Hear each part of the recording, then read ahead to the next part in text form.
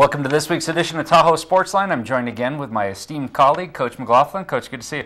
Sure, great to be here. And boy, do I have an incredible story involving March Madness. You know, in 1992, South Tahoe High School won the Nevada State Championships, ended up ranked number 19th in the nation. And on that team was one of the play coaches who's now coaching in the March Madness. Absolutely. His name was Jerod Haase. Jerod also went on to play for Kansas in 96 97, where they were number one rated team in the country uh, for a good part of the season. Uh, we're awfully proud of Jerod Haase and uh, the Lake Tahoe representation. You know, it's amazing. He was actually nominated for the Naismith Player of the Year and the Wooden Player of the Year at Kansas. And then he got hired at UAB recently, where he is now the head coach of the UAB Blazers. You know, Coach, I got to put this plug in for you. He's not the only Division One coach out there in Oh. the college ranks. Who's the other one? Your son. Oh, that's right. Shout out to my son Sean. But I do have a question for you. Do you know where Jerod started his career? Jerod played with another uh, very talented player at Cal Berkeley, uh, Jason Kidd. That's correct. Now, here's the trivia question. What does the Cal Berkeley fans have in common with Lake Tahoe TV?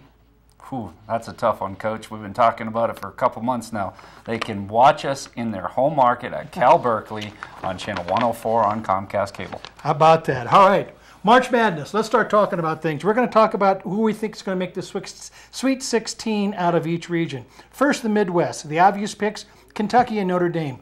But the Wildcats will play number 12 seed Buffalo, while this number 7 seed Wichita State will upset Kansas, who constantly duck scheduling the Shockers, and they will play in that group as well. Coach, I agree with you. Kentucky, Notre Dame, no brainers, uh, and so are their opponents.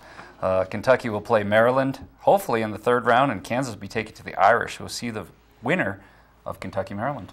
All right, now let's just move down to the West. Now, I'm rooting for Oregon. I'm a Duck fan, but honestly, Wisconsin's too strong. I think they're going to get that far.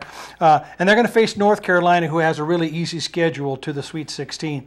Arizona is too talented to lose in the first two rounds, but that's where the, the, it's going to get interesting. Is I think they're going to play Baylor.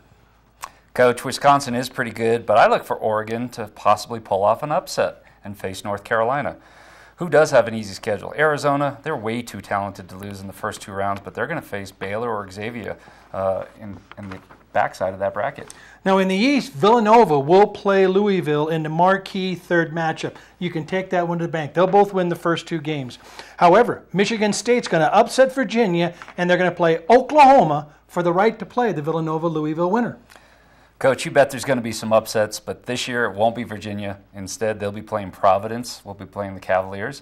And I agree with Villanova, but their opponent will be a very talented Northern Iowa Panthers. And then finally, in the South, Duke will play the Utah Utes on this side of the bracket. And on the other side, one of my upset specials, UCLA, who's playing the best ball of the season right now, is going to pull the surprise as they will face Gonzaga in the round of 16. I like that UCLA pick. Well, I agree, Duke and with Duke, Georgetown uh, is a potential upset for the Utah Utes, and the Hoyas will be the Blue Devils' appointment, uh, opponent.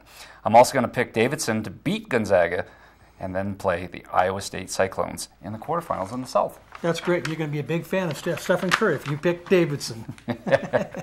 Well, that's going to do it for this week's edition of Tahoe Sportsline. You can always join our Facebook page, but we'll see you next week. Good luck with your bracket.